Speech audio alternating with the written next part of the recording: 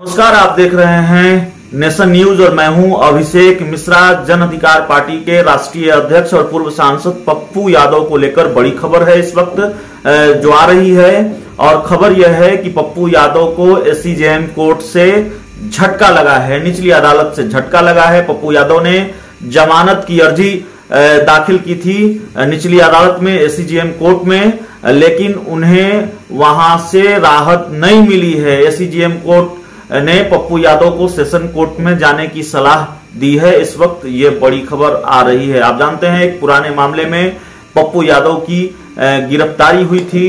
उनको ले जाए सुपौल ले जाया गया था और उसके बाद वहाँ से उनको दरभंगा के डीएमसीएच अस्पताल ले जाया गया, जहाँ अब भी वो इलाजरत हैं।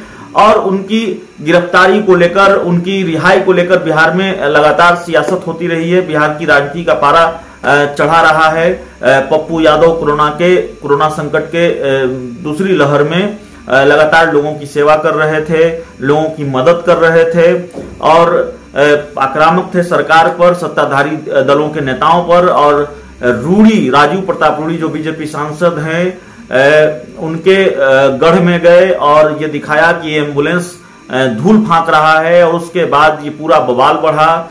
पप्पू यादव की गिरफ्तारी की वजह, उनके समर्थक यही बताते हैं, यही कहते हैं, आरोप लगाते हैं सरकार पर कि चूँकि पप्पू यादव सरकार की पोल खोल रहे थे, बीजेपी सांसद राजीव प्रताप रूढ़ी की उन्होंने पोल खोली थी, इसलिए पप्पू यादव को गिरफ़्तार किया गया है। तो पप्पू यादव की गिरफ़्तार रिहाई को लेकर रिहाई का इंतज़ार कर रहे हैं उनके समर्थक पप्पू यादव की पार्टी के कार्यकर्ता। लेकिन पप्पू यादव को कोर्ट से राहत नहीं मिली है। निचली अदालत से पप्पू यादव को झटका लगा है और अब उनको सेशन कोर्ट में जाने की सलाह दी गई है। तो इस पूरी रिपोर्ट में इतना ही, इस पूरी खबर में इतना ही। अगर आपने अब तक हमारे चैनल को सब्सक्राइब नहीं किया है तो ज़रूर कर लीजिए।